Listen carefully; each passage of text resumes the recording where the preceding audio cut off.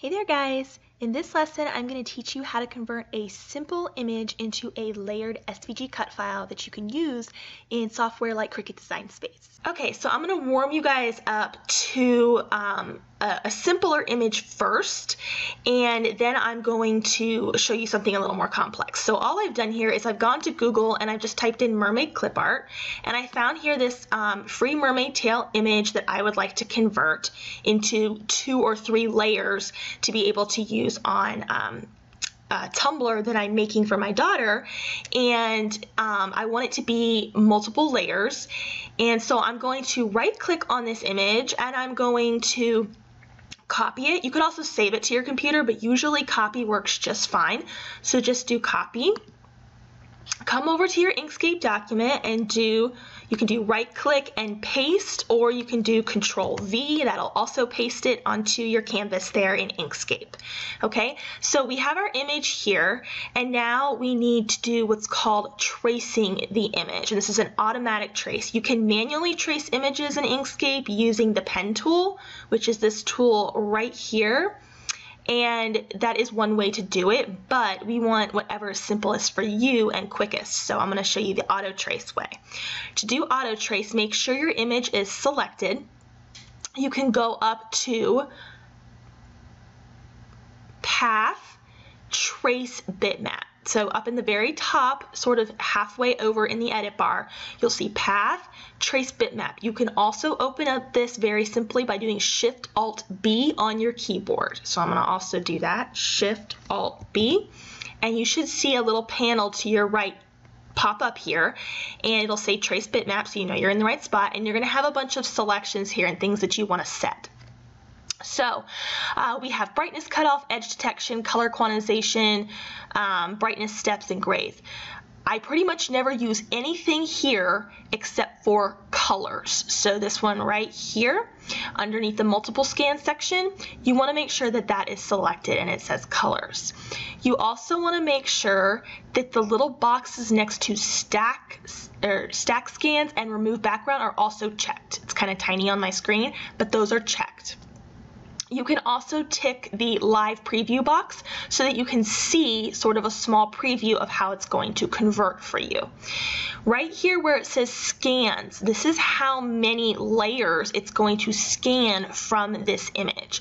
So right now it's set to three, which means it's going to have a background, it's going to have this lighter teal and the darker teal. So that's three scans. If I wanted to move that up, it would create more scans. Now this is a very simple image. So notice as I'm moving this number higher to create additional scans, it's not changing anything in the live preview. This is because there's no additional colors for it to register. So if there was a lot more colors going on here, I would want more scans because I'd want to pick up all those colors. But since there's only a couple of colors here, we can leave it at three you see how we went to two and we lost one of those colors? If we go to three, we get that second teal color back. Now I'm at four. There we go. Woo. Three. There we go.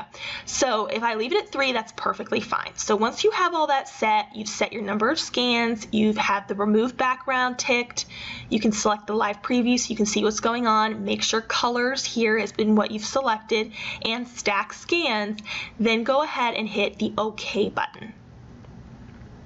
It's going to take a second to execute the trace. If your um, computer is running slow and Inkscape is like spinning on you and it says it's not responding, this may be because you don't have enough RAM or maybe the image is really, really big and it's just taking a long time. So what you want to do is you want to make sure all other things are closed down on your computer. If you can close down your, your internet browsers, any other apps you have open, very important because that increases your speed of your RAM on your computer.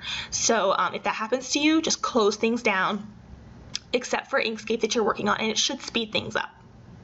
So I now have my image that I just pulled off the top of my original. This is what we copied in, and this is what we just traced here in the trace bitmap panel. I'm going to go ahead and just get rid of my original image because it's just going to slow my canvas down. So I'm just going to delete it. Let's zoom in here a little bit.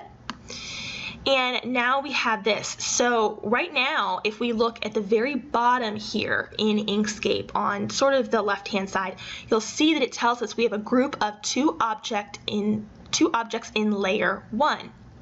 So that means there's actually two layers here, but we need to separate them to see how they turned out.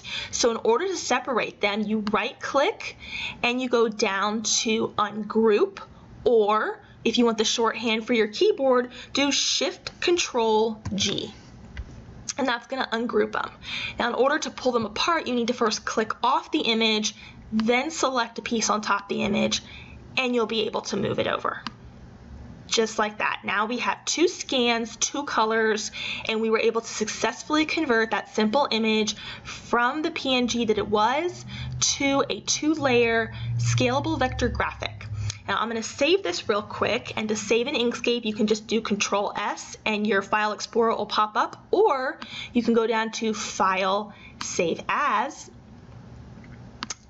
and I'm going to just save it here in my SVGs as Mermaid Tail Tumbler project because I'm going to put this on a tumbler for my daughter and you always want to save it as an Inkscape SVG just if you're curious, there's lots of different formats to save here, um, like DXF if you're working with, for example, um, Silhouette Studio. Um, you can save as a DXF here as well if you aren't able to load SVG files. But I highly, highly recommend you do the Inkscape SVG because there is more data saved in SVG files than there is DXF files, and they are generally better quality. So once you've named your file, picked a location, and you have it auto default to Inkscape SVG format, format, hit the Save button. It is now saved. We can see our project is now named up here in the top left-hand corner, so we will know that that has been properly saved. Anytime you're working on your project, if you go back and change it, just hit Control S on your keyboard and it will update whatever you've done to change your image. I'm going to go now to Cricut Design Space.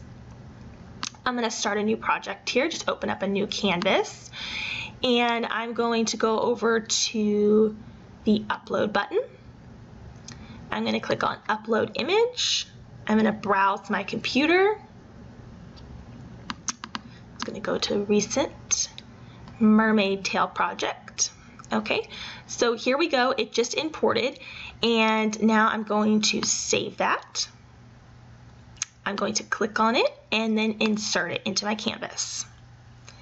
It will tell me that it's been successfully uploaded, but we can see here it's not appearing even though it's in our layers panel. If this happens to you, this is just because it is not um, up in the far left-hand corner of our canvas. It's floating somewhere down here in kind of a void. So if this happens to you, click the more right here on the right hand side in the edit bar and we can see the position of our image is all the way down on negative 46 on our margins here. So just change that to zero and your image will jump right up there for you, okay?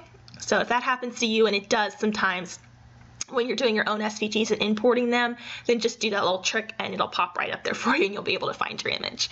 Okay, and so now we can ungroup these in our layers panel and we can move them um, however we want. We can scale them. If we want to use our contour button and come in here and we want to hide certain pieces that we don't want to cut out, we can use that contour button. So it's a completely um, it's completely the same type of SVG that anyone else would use or you would find in Cricut Design Space to use, and you just made this yourself by converting an image to an SVG. So this is a very simple, simple example. We did only very simple colors, and there was nothing too complex there.